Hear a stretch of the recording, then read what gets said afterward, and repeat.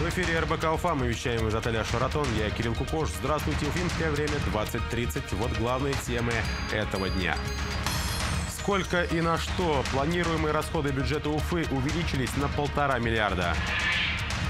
Впервые в истории санируемый Уралси присоединяет здоровый банк БФА. И негативная реакция на фоне новостей о переносе приватизации акции Башнефти рухнули на 15%. Планируемые расходы бюджета Уфы на 2016 год увеличились на полтора миллиарда рублей. Об этом сегодня сообщили на заседании городского совета столицы. Еще в июне расходы составляли 22 миллиарда. Сегодня эта сумма поднялась до 23,5. Городские власти отмечают, вместе с тем ожидается и увеличение доходов до 21 миллиарда 189 миллионов. Еще на июньском заседании цифру озвучивали на 789 миллионов меньше.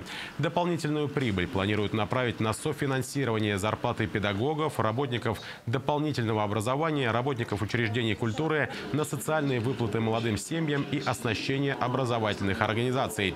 244 миллиона дополнительного дохода бюджета Уфы – это увеличение ассигнований из республиканской казны.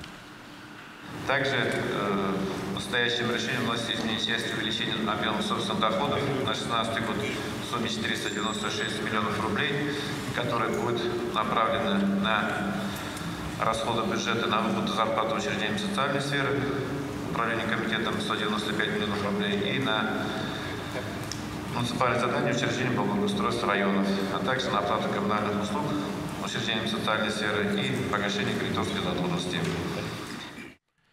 правительстве России принято решение не проводить приватизацию Башнефти в этом году, а перенести ее на более поздний срок. Такую информацию озвучила пресс-секретарь премьер-министра России Наталья Тимакова. На этом фоне сегодня на открытии московской биржи ценные бумаги компании просели сразу на 15,3% до 2654 рублей за акцию. Привилегированные почти на 7% до 1833. Сейчас падение скорректировалось до 9,5%. 2,5% и почти 2% соответственно.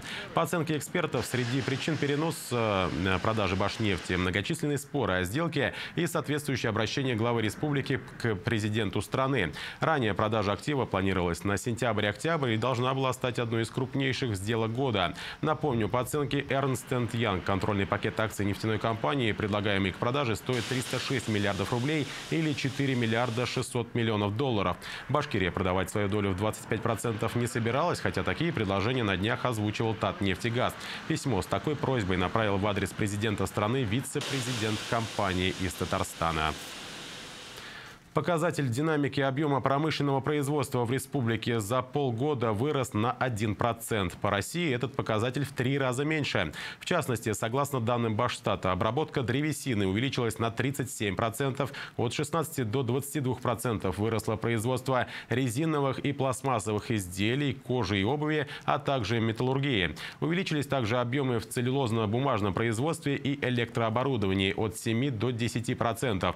Производство и распределение газа увеличилась почти на 2%, добыча ископаемых выросла за полгода на 0,2%. Сократились объемы в текстильном и швейном производствах на 9,7%, выпуск нефтепродуктов на 1,5%, пищевых продуктов на 0,7%. Производство неметаллических минеральных продуктов сократилось на 17%.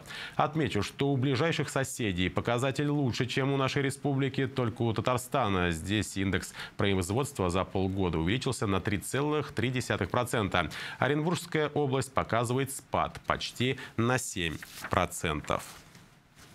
Информация о курсах валют, установленных Центробанком на четверг. Доллар и евро подорожали. Курс американской валюты по отношению к российской вырос на 4 копейки и оценивается в 63 рубля 99 копеек. Европейская валюта подорожала на 11 копеек 72,08. Лучшие обменные курсы на сегодня. Покупка долларов в Тимирбанке за 63,94. Продажа в банке Камский горизонт за 64,15.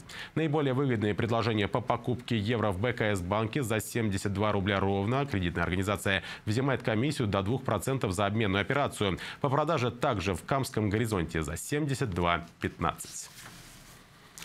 Питерский банк БФА присоединят к Уралсибу. Процесс может занять около 9 месяцев. До сих пор в российском банковском секторе не было прецедента с присоединением здоровой кредитной организации к банку, находящемуся в стадии санации. Ранее банки объединили сети своих банкоматов.